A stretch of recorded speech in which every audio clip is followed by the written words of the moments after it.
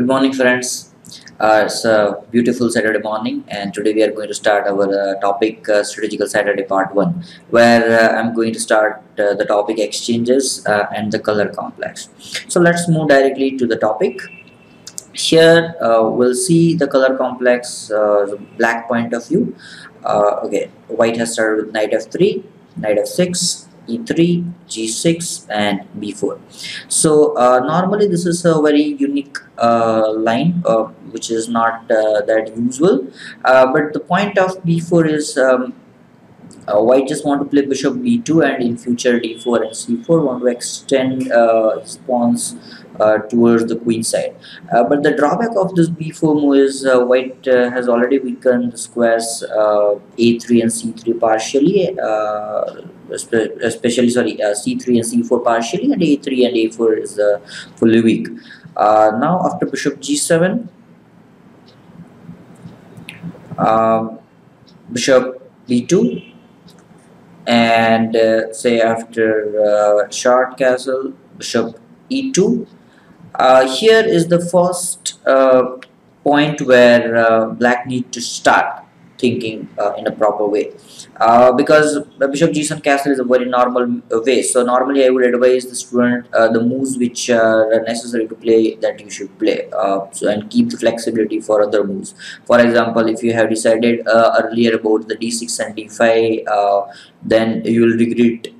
maybe d5 is a better move. So here in this case uh, it is very clear that white is going to play d4 c4 and a4 so this is the first point where we can start uh, with uh, some ideas and we just uh, introducing the color complex from here.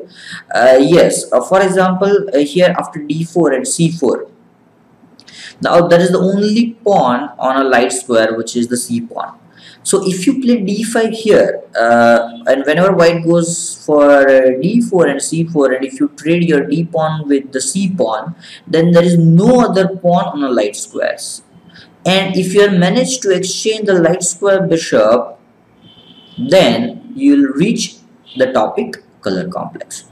So here uh, I played uh, d5 so which is uh, uh, really Uh, necessary if you want to achieve the color complex. If you play d6 here you won't uh, achieve that. So uh, i'm not saying that d6 is a bad move here uh, it's not like that but uh, d5 i have something in mind like uh,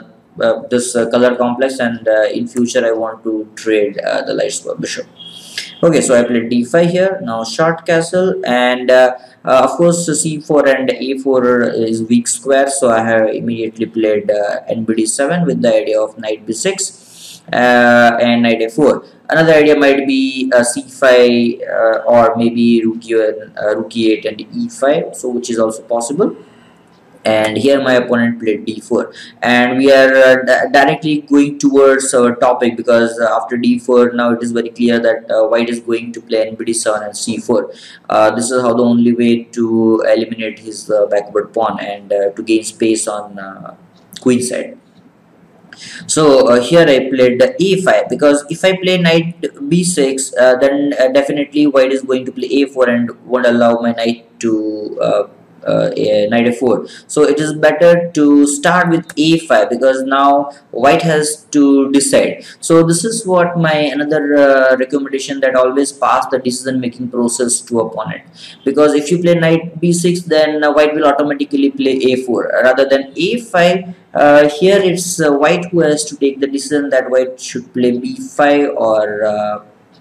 uh, BA5 or A3 so of course BA5 is uh, uh, not at all uh, uh, in my consideration because which uh, creates more pawn island in white's camp so it is ideal to play A5 here. And here I would say that B5 is more logical as compared to A3 because after B5 uh, anyhow I'm going to play knight b6 now still uh, knight a4 is the threat. And if uh, white plays a4 then black will play knight e8 and uh, now my idea is to play knight d6 and knight to c4 because now c4 is weak. And whenever white plays c4 then uh, we'll just trade everything on uh, c4 and uh, now black will have bishop pair. So especially the light squares light squares are still weak in white's camp so this is how uh, black can play in this position uh, but after a5 on move 7 white played a3 which I feel is the first mistake uh, in uh, from white but okay uh, still uh, we have seen that even after b5 still black has a decent position. Uh, but after a3 uh, now black white has no longer the a4 possible and that's why black should go to knight b6 now knight a4 is a threat. Okay so white continue with the normal uh, developing move knight bd2 and c4 because if white goes for knight c3 okay he is stopping knight a4 but uh, in return his c4 square remains weak uh, and the c2 pawn remains backward pawn so which is of course not a good idea. And that's why after nbd2 uh, white choose uh, the move nbd2 with the idea of uh, c4 now knight a4 and here black uh, uh, is threatening immediately to take on b2 so white has two ways to defend it either with a queen c1 or the rook b1 so in game queen c1 was played but let's discuss first the move rb1 okay bishop c1 is uh, not at all um, possible because of just knight c3 queen e1 knight e2 and just ab4 wins the pawn so bishop c1 is of course not at all possible. So let's say now rb1 now how to continue? Uh, so the question is uh, uh, is this bishop a good bishop or not bishop? Uh, is a bad bishop. Because uh, the the thing is uh, white is going to play bishop a1 and c4 and if you take on c4 then um, I mean is the diagonal is already open and white may play d5 4 in future. But here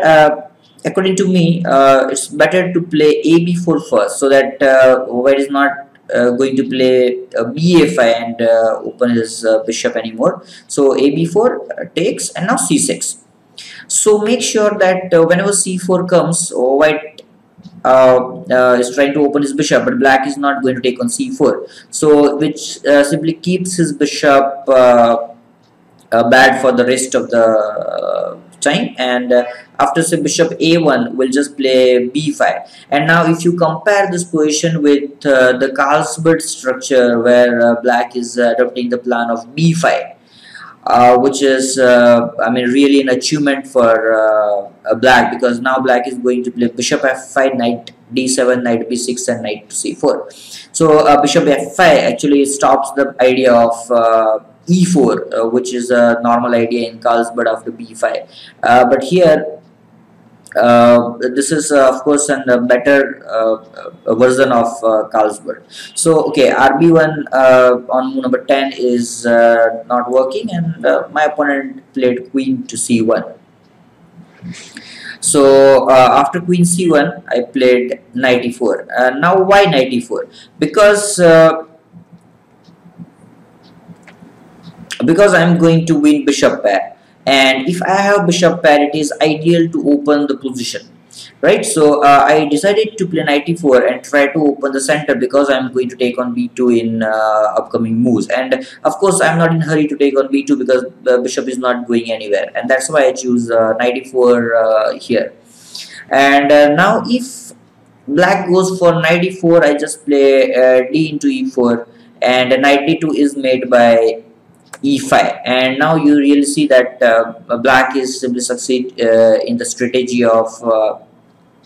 opening the center. So after uh, uh, e5 if uh, white goes for knight into e4 then black will simply play knight into b2 queen into b2 ed4 ed4 queen into d4 and of course whenever you have bishop pair it is ideal to trade the queens uh, especially okay which are the topic of uh, bishop pair so which uh, we can um, uh, see in a different series. But okay here this uh, queen into d4 and uh, after queen into d4 bishop into d4 center is already collapsed. And black has uh, bishop pair so for example say if queen into d4 bishop into d4 and uh, this position is of course slightly better for uh, black. So uh, so after knight e4 knight e4 de4 knight d2 e5 uh, another possible variation uh, is c3 but of course de5 is bad because of simply knight into b2 queen into b2 and queen d2 wins a piece. And that's why here uh,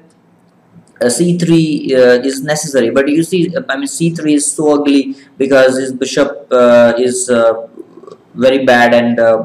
um, uh, black can just simply play rook e8 and just keeping the tension in the center. Because now there is no point of uh, releasing the tension with uh, e5 which simply improves his bishop. So uh, black can just play queen e8 and uh, uh, gradually improve his position. Okay so now let's see. Instead of knight e4 on move number 11 white plays c4 because which looks very natural move and that's what played in my game. So after c4 uh, I still decided to uh, open the center and I started with the move knight into d2 uh, now here if black goes for knight into d2 then I can just simply play either c6 or bishop f5 and his bishop on b2 remains bad for the rest of the game but here my opponent decided to uh, take it back with the queen because which looks very uh, normal uh, to connect the rooks uh, as early as possible. And that's why he took with the queen and uh, now in order to open the center so still i'm just thinking about the bishop pair actually. So uh, uh you might think that okay topic is uh, color complex and we are talking about bishop pair but you'll see uh, you are going to see uh, this topic in in few moves. So after queen d2 I played d into c4 so I'm eliminating the first pawn uh, uh, last pawn actually. Oh, first or last we can say. Because the only pawn which is on um, light square. So I just took on uh, c4 bishop to c4 and I played e5 uh, so still I'm uh, thinking on the same theme um, bishop uh, so far. And now my idea is to play bishop g4 next move so to take this knight and then take this bishop and win this d4 pawn. Uh, and if white goes for uh, say some moves like uh, queen c1 or something like this we can just even uh, take on uh, b2 and take on d4 and uh, we have this weakness uh, in black's camp d4 pawn is remains weak and still white has bishop pair. So uh, of course after queen d6 here black has slight advantage. But okay in, instead of queen c1 it looks natural to play rook f d1 because white wants to avoid this isolated pawn on d4 and here black uh, uh, achieves his strategy okay so you can just pause the video and try to find out it uh, yourself how to continue as black. Okay so let's see. So uh, now again we are just each uh, closer to the uh, our strategy color complex. So here all the light squares are weakened which is ideal for uh, black to trade the light square bishop and that's why black start with the move bishop g4 uh, so now our strategy is to take on uh, f3 um, so that that immediate threat forces white to play bishop e2 and now always remember that whenever opponent has some weaknesses there are two types of weaknesses either mobile or fixed so uh, normally we should uh, fix uh, some weaknesses in order to exploit it uh, in a very concrete way. So here all the light squares are very very weak and it is necessary to fix that weaknesses. So i started with the move e4 and again by playing this uh, move actually we are following the capablanca's rule okay so what that rule is i'm just going to explain to you. So after e4 uh, it is forced for white to move this knight and uh, okay in game 91 was played uh, but i think 95 is of course a better idea. But still after uh, bishop into e2 queen into e2 and queen d5 and now you see this is uh, how we have achieved uh, the color complex. And now our strategy is to take a into b4 again we are uh, not allowing a white to take uh, b into a4 in upcoming moves and after ab4 ab4 just b5 and then in future we can just uh, uh, transfer our knight either on uh, c4 or d5 uh, but the another problem might be this e5 pawn is weak and that's why my opponent okay after say bishop into e5 and for example knight b2 bishop e5 rook e8 okay. So maybe we can just start with the rook e8 in future and then take on b2 take on e5 and uh, this e5 pawn remains weak for the rest of the game. So uh, maybe my opponent is uh, maybe afraid about this but i would say okay does not matter you are losing a pawn or what just by uh, instead of playing knight e1 is better to keep uh, your pieces active and better to play with the pawn down rather than two passive bad pieces. Uh, okay so here uh, let's uh, go to the move knight e1 and now after bishop into e2 queen into e2 and now queen d5 uh, okay so here uh, you may argue that you can start with the move a b4 a b4 and b5 as well uh, because white cannot take on b5 because the b2 bishop is bad. So a b4 a b4 b5 is also good but okay i started with the move queen d5 and uh, now let's discuss uh, what the Capablanca's rule is. Okay so Capablanca's rule one is uh, if you have uh, for example the light square bishop it is better to put your pawns on um, uh, dark squares. Uh, that means your bishop and pawn should be an opposite color. The Capablanca's rule 2 is if your opponent has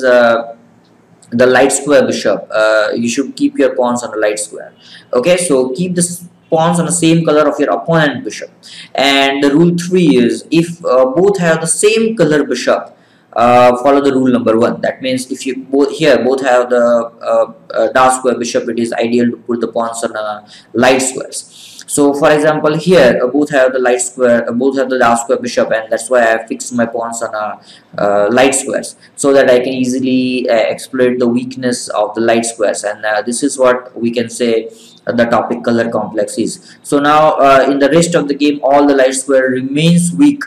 and I can easily exploit this uh, uh, by just exchanging the queen. Uh, so always remember how to play when you have such position. Uh, always remember a uh, few fundamentals. Whenever you have the color complex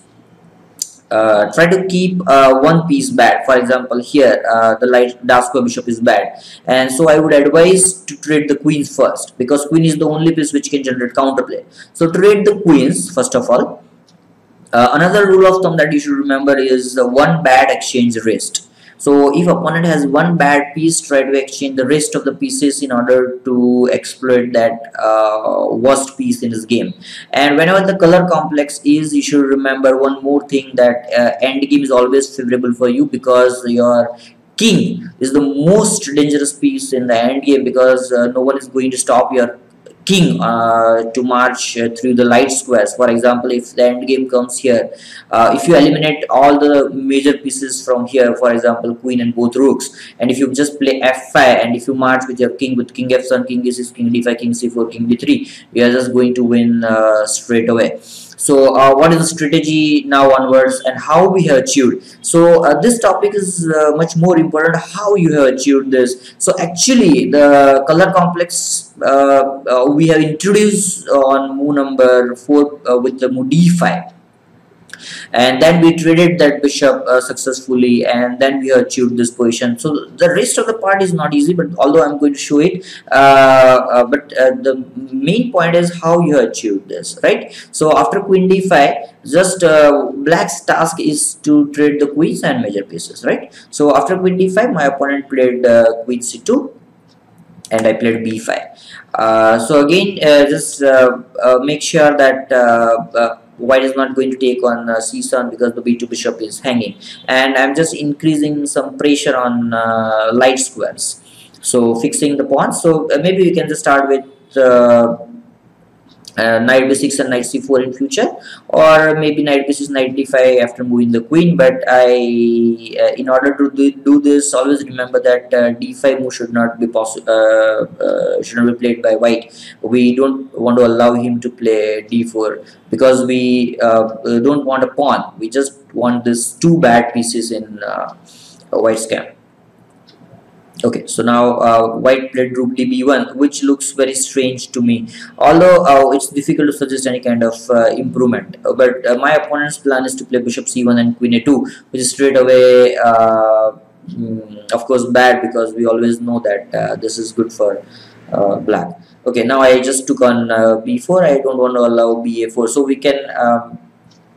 just start with move ab4 ab4 and now I played a5 putting my another pawn on a light square and uh, I may play uh, f4 in future as well.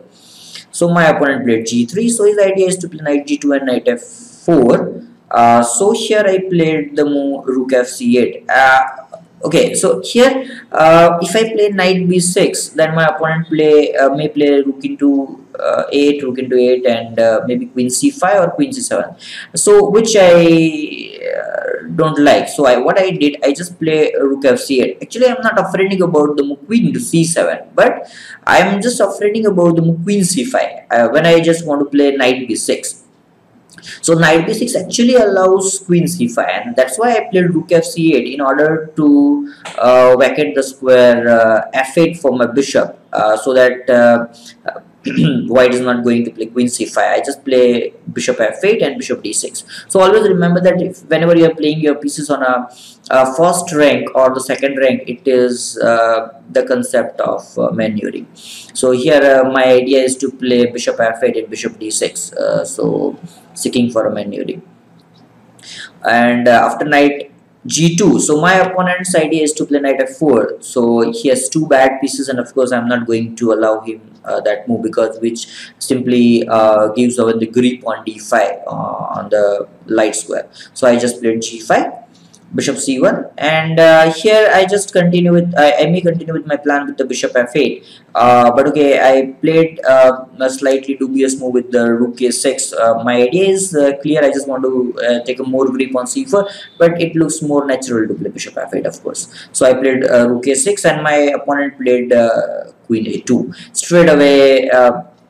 exchange the queen and of course which is good for us. Uh, here it is uh, of course very ideal to take on uh, a2 rook into a2 rook c6 bishop d2 and king f7 of course straight away we are just marching towards the weak squares uh, weak light squares and whenever the rook c1 comes we can just take takes and play knight c3 rook d2 and knight d5 and this is of course straight away winning because now we are going to play king uh, e6 c6 knight b6 knight c4 king d5 and whenever the h4 comes we'll just play h6 uh, but here is after c6 uh, actually I'm just played a psychological game because see my opponent played rook f d1 then bishop c1 and then queen a2 just in order to exchange the queen. So I thought okay if my opponent has wasted so many moves to just exchange the queen so uh, let's play the move c6 uh, so of course uh, again remember that uh, queen into a2 uh, is of course our strategy. But when opponent is wasting so many moves uh, I thought okay let me play some uh, psychological game. So I played c6 and of course queen d5 improves my grip on uh, light square so of course which is not advisable. And so my opponent played bishop d2 and still queen a2 is uh, better choice but I continue with the move bishop f8 and now my opponent simply moves the queen to c2 and I thought oh again have to uh, uh, work for actually the queens. So always remember that queen a2 was a better idea but i thought uh, just about the psychological aspects. Okay and then i played uh, my rook a8 back queen d1 h6 so whenever the uh, move uh, queen h5 comes i have the move queen h7 again. Um, uh, okay so in this this position is uh, actually uh, I mean so much harmless for black that uh, black can waste uh,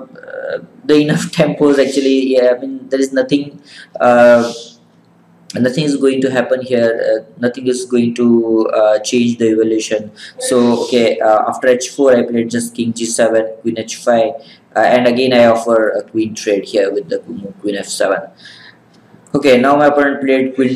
d1 back because now he understood that uh, queen exchanges is uh, of course in my favor. Now I played bishop e7. So I just uh, simply want to keep my queen free. Now my opponent played uh, f3 and I put uh,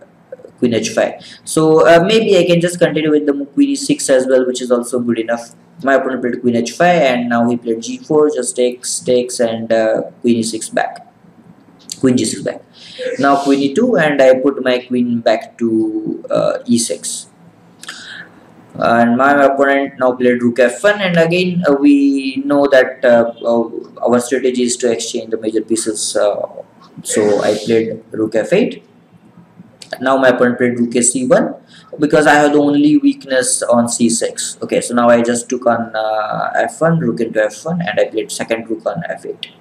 so uh, now I think ideal is to play rook c1 but still after knight b6 rook a1 and knight d5 uh, I'm just going to win a pawn and rook a7 is simply made by rook f3 followed by queen into g4 and my bishop is firmly protected with the knight on d5 so uh, I'm going to win uh, very soon. Uh, so rook c1 is of course uh, not going to help white but uh, still it is better to keep more pieces on the board because uh, rook f8 is again straight away winning so my opponent choose rook into f8 I played bishop into f8 and now you see still I have not uh, gain any material. Uh, but actually there is no need to take material when opponent two bad pieces. If i'm uh, just simply take this uh, d4 pawn away from the board actually it only helps uh, white. So uh, I, I, would recommend here as white just white should throw his d pawn does not matter is losing his pawn. Still after d5 queen d5 black is winning but at least white should throw that pawn. Uh, okay here my opponent played bishop e1 and I played bishop d6 of course not allowing my opponent to play bishop uh, to g3 and still I have total domination uh, on the all board and just now my idea is to maneuver my knight to d5 so my opponent played at g5 at g5 uh, and queen c2 uh, but uh, okay is queen c6 uh, a really threat? Because queen c6 simply made by bishop h2 and that's why uh, I simply ignore the threat and I played knight b6 so now it is only ho hope for white to bring his queen on a file and that's why my opponent played queen b2 still i would recommend to play uh, d5 but okay uh, anyhow i'm just uh, uh, going to win with either we take with the queen d5 or knight d5 and still it is winning for me. Okay my opponent played queen b2 and now i just simply put my knight on d5 now queen a3 and now this is the only small uh, little calculation for uh, black. I just took on g4 queen is on check and bishop c7 so here still king g6 is also winning. Uh, but I chose uh, the move bishop to c7 queen b7 and now queen g3 so the point is uh, queen c6 is simply made by bishop h2 uh, now king f1 king f2 is simply made by queen f3 mate king f1 and now knight e3 check. And king e2 and now queen into g2 and here my opponent resigned because uh, king e3 is simply made by bishop f4 mate. So now uh, you can see that uh, this game was really beautiful to understand the topic color complex exchanging and the color complex. So remember the thing that we have started with the more move 4 we introduced the color complex with the move 4 when we played d5 and then our intention is to exchange uh, one only one pawn which was on a uh, light square. And then uh, our intention is to exchange the light square bishop so we have achieved uh, okay we have just finished this game on move number 48 uh, but actually uh, this game was won on move number say here on move number 16 when my opponent played knight uh, E1 and we achieved this uh, color complex. So it took uh, just execution part is normally bit lengthy but normally it's winning right? So uh, this kind of position never change the evolution. Uh, anyhow if you are playing one or two bad moves uh, still the position remains same. So hope you have enjoyed this first part on the exchanges and I'm just going to take the second part on the next Saturday. So if you have enjoyed this just please uh, please wait for the second saturday for the next topic and the next topic will be exchanges and the entry point. So hope you have enjoyed this video. Thank you very much